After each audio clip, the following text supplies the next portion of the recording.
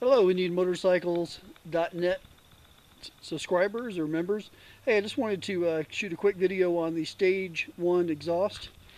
Uh, I bought the, uh, the slip-on exhaust kit for the Indian Scout 2015 first run. And uh, yeah, there's a, uh, a video out there that I'll uh, put at the bottom here of the Stage 1, uh, the normal stock exhaust and the way it sounds. And this will be a comparison with my bike. Beautiful bike, just picked this up on Wednesday, three days ago. But this is a closer look at the Stage 1 exhaust. As you can see, it's got the Indian logos.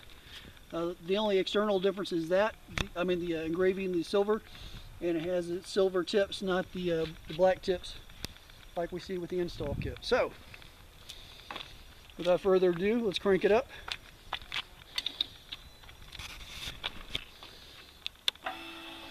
Supposed to wait two seconds for the uh, fuel pump. And let's hit it. I'll just let it run and I'll shut up.